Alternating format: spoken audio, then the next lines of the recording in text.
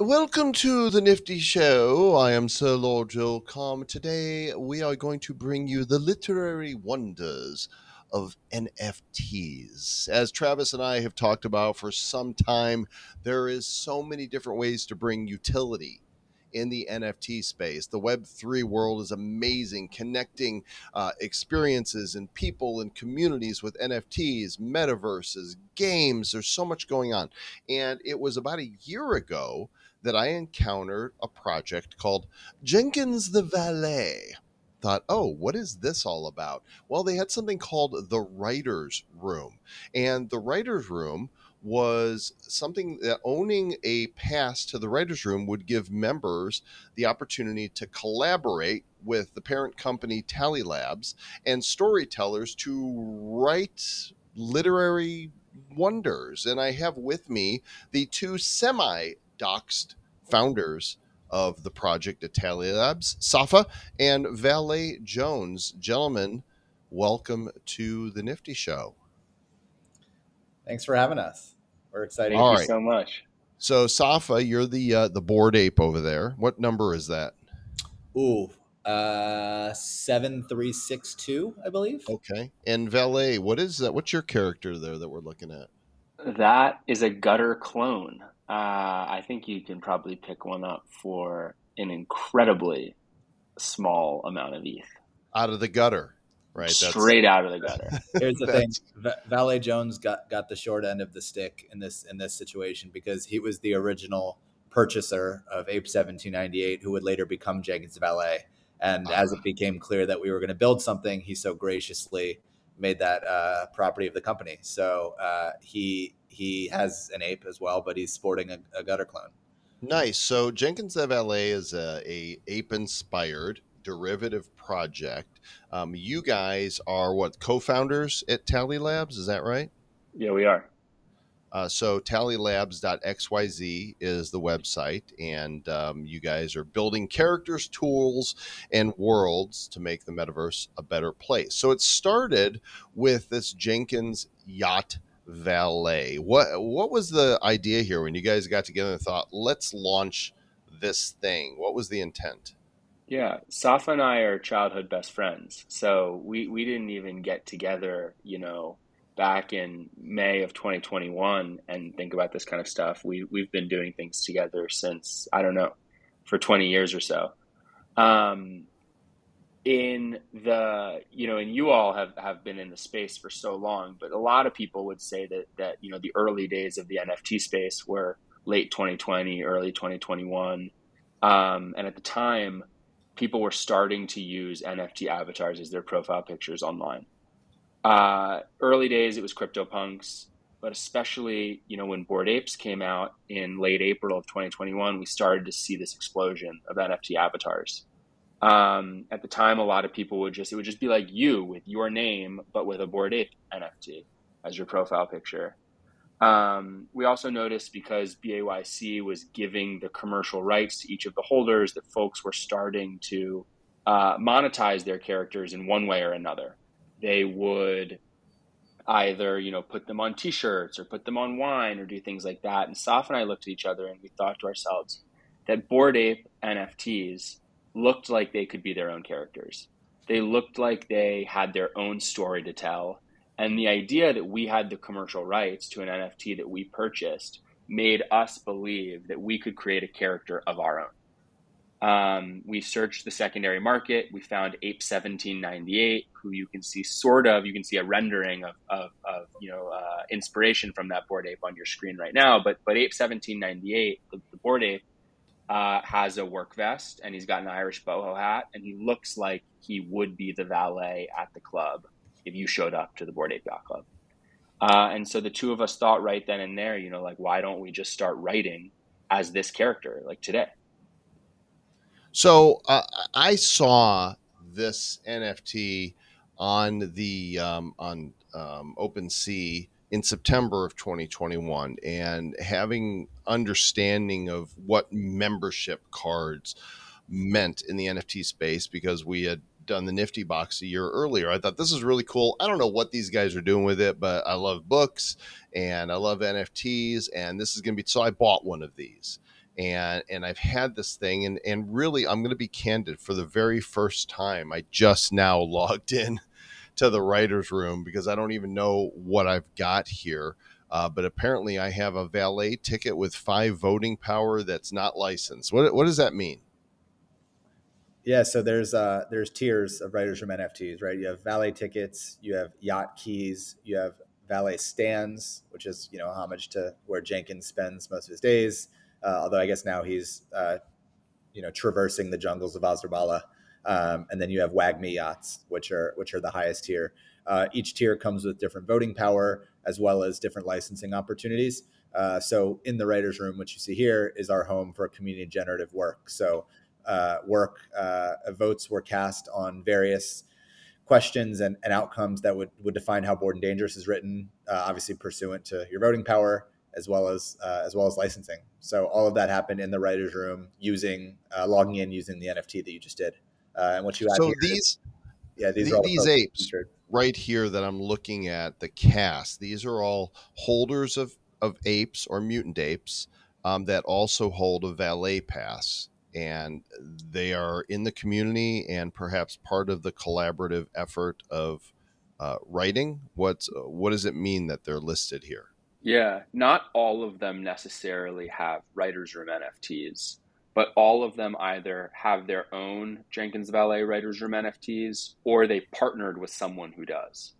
So uh, the the valet ticket that you showed that you have had since September that got you into the gated writers' room mm-hmm. basically gives you the ability to participate in setting the creative direction of the stories that we tell.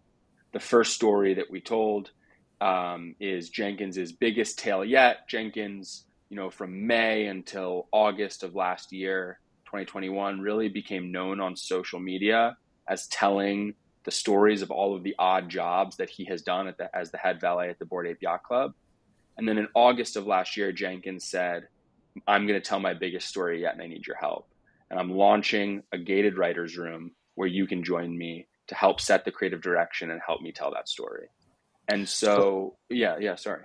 So is that what this book then is, Bored and Dangerous? Because this, I believe, is the first work to come out of the the DAO. That's correct. Yeah. So one one thing to know, Joel, is, is it's uh, it is not a DAO. Um, it, it is sort of has DAO like governance, right? It, we we the community fully decided everything that that went into the book, um, but it's not a formal DAO yet. It's uh, right now sort of we're a private company uh, working with our holders to create awesome content. Um, but yeah, Bored and Dangerous is what we think sort of the first example of community generative content in the NFT space. So 3,000 holders voted on everything that you'll read in the book, and then 4,075 apes and mutants licensed to appear in the book. Okay, so I, because I'm a holder, I got the opportunity to mint uh, one of these, and I think I purchased another one, um, and and I'm not exactly sure what I've got here. All I know is it says I've got a bored and dangerous money train, and then I've got another bored and dangerous Great Ape Society. So is this actually a book here that I can read, or is this an NFT that I can redeem for a book? What do I do with this? Yeah, you uh, you cannot read it natively on OpenSea. Um, okay. We you know, because this book is, is, is novel, we wanted to bring it to life in like a really special way. So uh, our team, our awesome team of, of uh, on the product and engineering side, has built sort of a custom token gated e-reader. So you will take that book NFT to another website, use it to log in, and then be able to read the book in a bit more of an immersive way. Intera- uh, see the characters that are mentioned, sort by characters, bookmark your spot, etc. Um, we felt that just like swiping through OpenSea to reading pages was was not necessarily the, the best use. Um, so that'll be going live um, in the next couple weeks. Uh, that's fully you know built in house. It's how you'll read the book. Um, that's sort of the consumption side of it. Uh, what I think you you know the alpha that you're really here for is is uh, where the book can take you. One of the benefits of bringing it to market as an NFT is just the fun mechanics that you can introduce. Um, so there's a burning and there's a staking side of this sort of decision tree. Um, uh, I can speak about one. VJ can speak about the other. We, we usually just flip flop or alternate. Um, uh, Azurbala is on the burn side. Uh, it's you know we mentioned it earlier to you before before we started speaking. Uh, it is uh, the first PFP collection that that we as a company are bringing to market, um, and we're really excited about it. We feel that um, we've put a level of, of storytelling and lore uh, and technology into it that that most other projects haven't. You were able to check out the website and and, and see everything that went into it here. Um, there's dueling factions. Um, we uh, we just had literally just got off of community spaces about Azurbala. Um, there's been a number of characters that have been created by members of the community already before the PFPs have even launched. Um, so we're really excited. And what you see here is the world. So uh, if you click on one of those spots, you'll see all of the different factions that you can go visit. Uh, the Ito Khan, which you, have selected, is the corrupt prison guard who wants to, you know, cleanse the city of crime.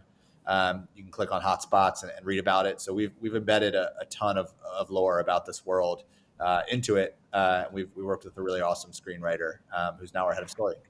To, so this is a, a, metaverse then that people will be able to walk around in. Is uh, what happens here? I see that there's story, but what happens inside Azurbala? It's a game. Yeah. We're we're so we're storytellers first and foremost. Um, Azurbala is not a game or an interoperable metaverse today. Um, surely, you know, as time goes on and as our community does more in and around Azurbala, maybe you know we will be inspired to go in that direction. But but for us and at Tally Labs, our focus is on creating content that starts in Web3 and then um, expands out of it. You can think of Bored and Dangerous by Jenkins the Valet as the first example of that, where all of the creative was sourced by um, NFT holders and by our community. The book came to market as an NFT, but ultimately our ambition is to have that like on shelves at Barnes and Noble and on Amazon and things like that. Azurbala is is really like the the sort of the next step in the iteration of like content that is created in Web three. So our community will own the inhabitants. They are creating characters out of their own Azurians. We've created a setting. We've created lore. They will tell their own stories, um, and we're building a ton um, of software experiences to help them build their own stories and tell their own stories. All the while, we have our own team internally, and we'll work with partners um, to tell the official story of Azurbala that builds upon all of the amazing creative that our community, um, you know, thinks to do with their own characters. So this um, this fictional world can then become the um, the foundation for just volumes of totally. stories, uh, which of course can turn into television, film, comic books, um, I, you know, I know those who are book people. Uh, some of them eh, feel opposed to comic, you know, uh, graphic visualizations because they're purists. But look, when you've got IP that uh, is successful, a whole new range of NFT characters could also rise out of this. That's that's totally right. I mean, we think that like the franchises of the future will start on the internet. That this is the way that they will start, and we hope to prove that with Azurbala. I love it. So, what uh, what do I do? with these books, the Bored and Dangerous books, and what is the difference between a Great Ape Society book and a Money Train book?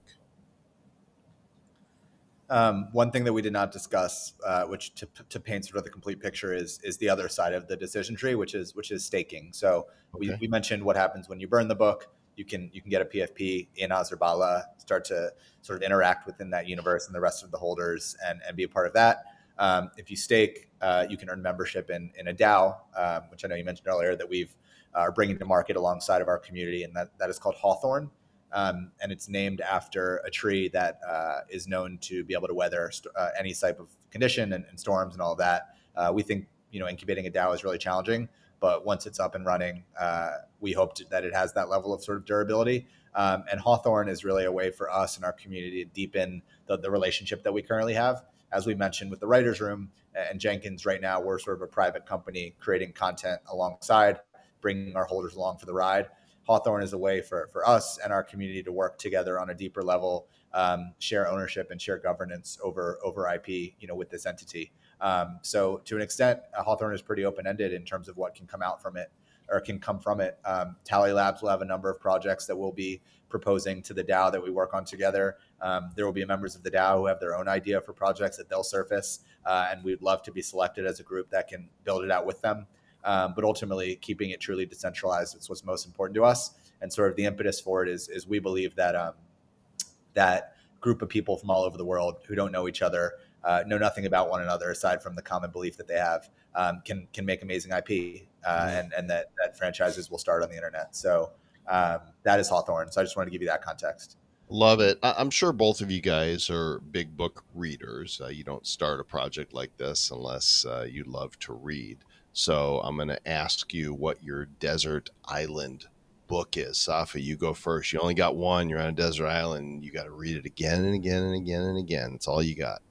What's so you think you'd think that with the amount of time this question comes up and how how much I pale in comparison to VJ with like my book knowledge, you'd think that I would just start reading more because that would be the logical thing to do.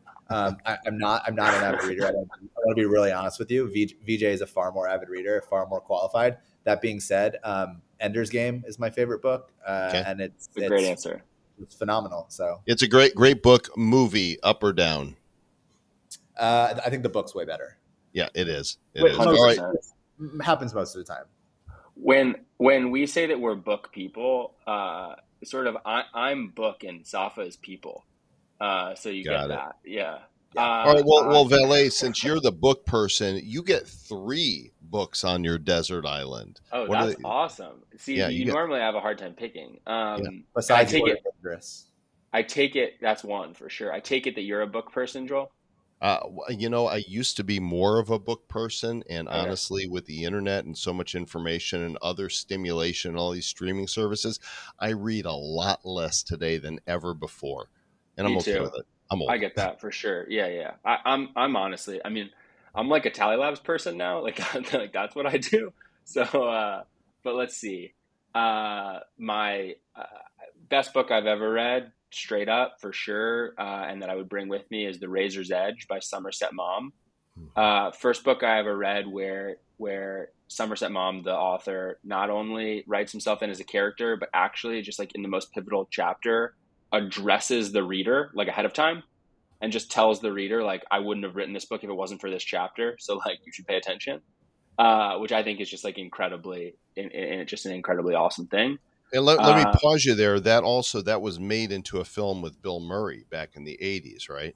And I believe I haven't seen the film actually. I believe it's known though that the book is is considerably better. Usually um, they are for sure. okay. I would I would take um, I would take any of the Harry Potters. Uh, you know, I don't know if you haven't read them. I would take number one. if if you have, I probably would take like the longest. What would that be? Probably like uh, the fourth or the fifth book. Harry uh, Potter because, and the never-ending um, revenue stream for J.K. Rowling. I think that's what that's called. Yeah, exactly. But just uh, it, probably the, I, you know, in my opinion, the greatest world ever built, and, and um, uh, truly like inspiring. And then number number three, which is my number one, would be Bored and Dangerous. Oh, Absolutely. Well, there you go. There you go. Yeah. So I guess I need my laptop too, so I can connect it to yeah. Tally Labs' custom e-reader.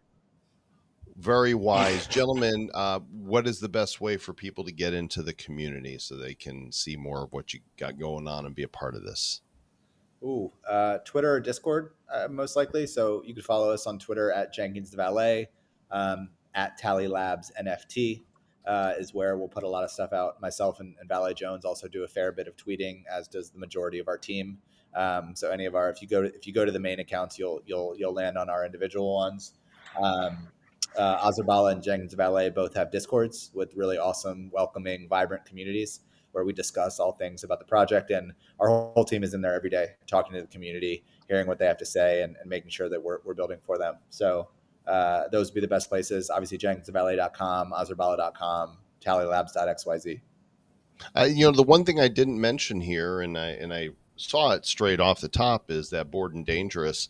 Um, the final work was created by Neil Strauss, who is um, a New York Times best-selling author multiple times over. Uh, if you've ever read The Game, which I think he since uh, redacted as he grew up and realized maybe this isn't the best way to uh, to meet women of substance, but uh, his works have been read by millions of people. So how did how did he on board to the project? Wow, um, the the the first of all, I mean Neil is just like an incredible person and, and obviously a phenomenal writer. He's been in the space for a long time. He's he's he's been writing in the space and he's been sort of crypto native. I think as early as 2015.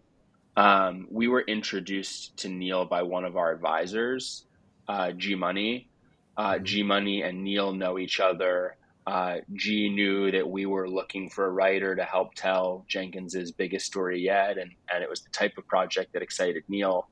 A fun fact about Neil is is um, since the game, he's really written um, like a number of celebrity memoirs. He, he wrote um, recently Kevin Hart, uh, Joe Jonas, Marilyn Manson, um, and he interviewed us as Jenkins the valet extensively and did a number of interviews with community members uh, in in character uh, to learn more about it. And he really dug into the questions that we asked the community members in our portal and treated it like he was getting to know these characters. Uh, at our at our we did an in in real life event at NFT NYC, and Neil came, and Neil met some of the characters that that are written in the book as main characters and like freaked out. You know, he he was repeating back to them like what they had built their characters around. So he really got into character on it, and it was just a pleasure getting to work with him on this. Well, perhaps one day he will write the story of uh, Jenkins Yacht Valet. Anything's possible, right? Uh, Safa VJ, thanks for coming on today and sharing with us. We appreciate it. Yeah, thank you awesome. so much. You there you off. go, gang practical applications and utility for NFTs. These guys have been at it for over a year now. Watch everything that Tally Labs is doing, tallylabs.xyz. And of course, you can go on OpenSea and look up the Jenkins, the Valet, and Bored and Dangerous NFTs. Make sure you are always visiting the authentic collections. Don't be scammed by the scammers because that's what scammers do. Uh, make sure that you do subscribe, review, ring bells, tell a friend. NFTs are the future, and the utility is going to keep rolling. So we will catch you on the next episode of the Nifty Show. Until then, keep it nifty. Looking into the future, what do we see? It's lined with digital collectibles, we call them NFTs. Games, trading cards, digital art, and those crypto kitties. Joel and Zach are the hosts you'll know. Joel and Zach say this will blow. They're locked and loaded, so ready, set, go. It's the Nifty, really kind of spiffy. The Nifty Show.